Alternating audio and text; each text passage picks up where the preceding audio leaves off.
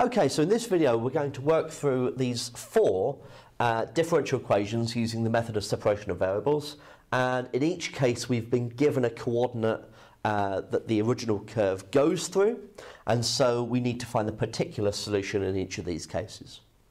So for number one we've got dy by dx equals x times y cubed. So I'm going to divide both sides by the y cubed first, leave the dy where it is and multiply both sides by the dx.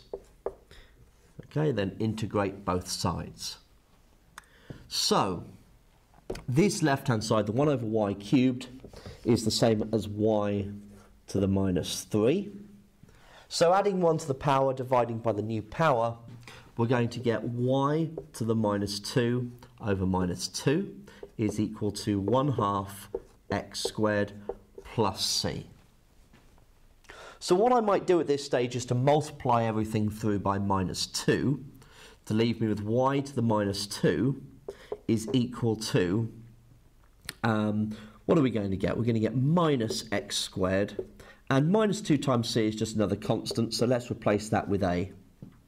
So I can write that as 1 over y squared is equal to a minus x squared. And if I wanted to, I could then write that as y squared is equal to 1 over a minus x squared.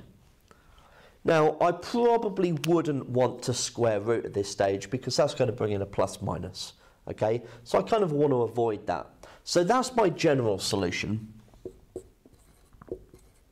And now I want to find the particular solution. So that's substituting in the coordinates 1, 1 to work out the value of a. So, at 1, 1, we're going to get 1 squared is equal to 1 over a minus 1 squared. So, in other words, a minus 1 has to be 1, and so a would have to be 2. So the general solution would be y squared equals 1 over 2 minus x squared that's my particular solution. Okay, so that's question number one.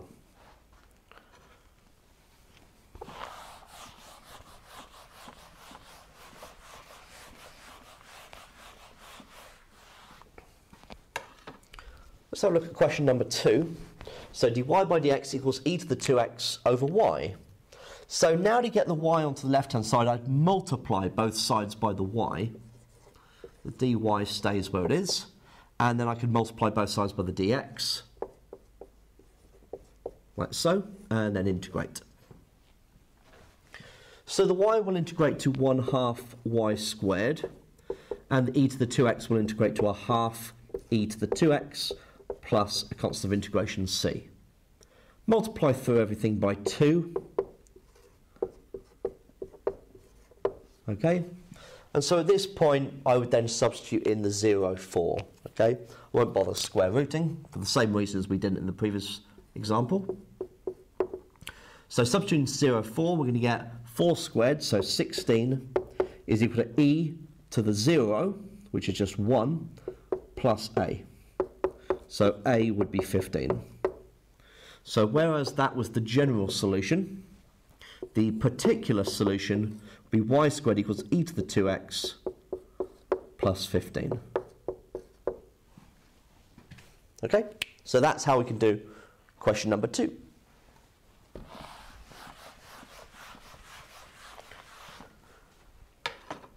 Question number three, uh, dy by dx equals y plus 1 over x plus 1.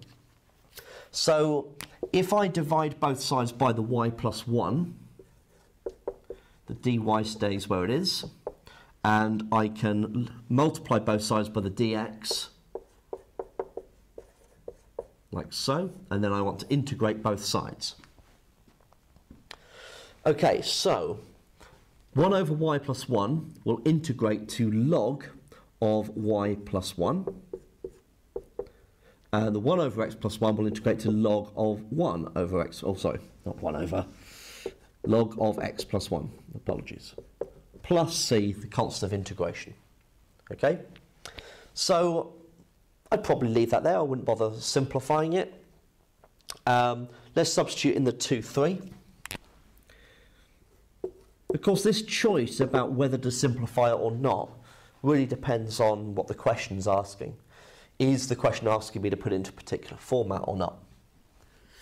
So, substituting in 2, 3, I'm going to get log of 3 plus 1, so log of 4, is equal to log of 2 plus 1, so log of 3, plus c.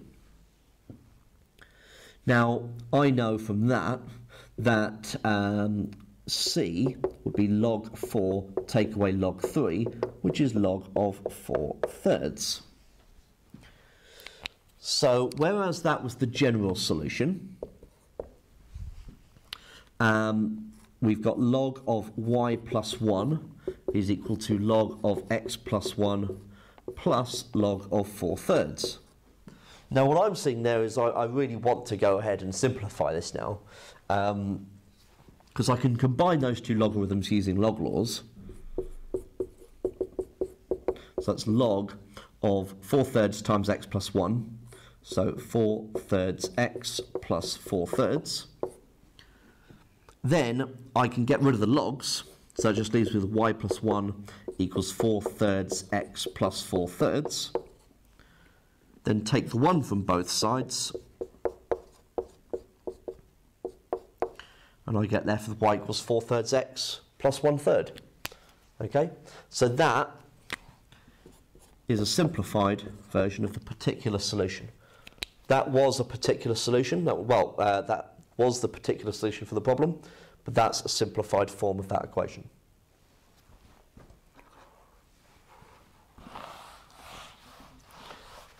Right. Number four.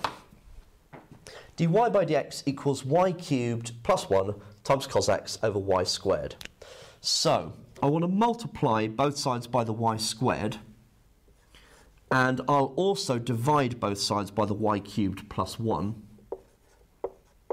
in order to get those two terms onto the left-hand side. The dy stays where it is. The cosine x stays where it is, but I multiply both sides by the dx. And then I'm ready to integrate. Now, the left-hand side, uh, this is an example of integrating f prime, f, uh, prime over f. Okay, so y cubed plus 1 differentiates to 3y squared, which is a multiple of what I've got in the numerator. So I've got a third of what I need. So that would be 1 third log y cubed plus 1. The cosine x integrates to sine x. Okay. Now, I could then multiply through by the 3. So that's 3 sine x, 3 lots of c, just call it a. Okay. So now I'll substitute in the pi over 2 5.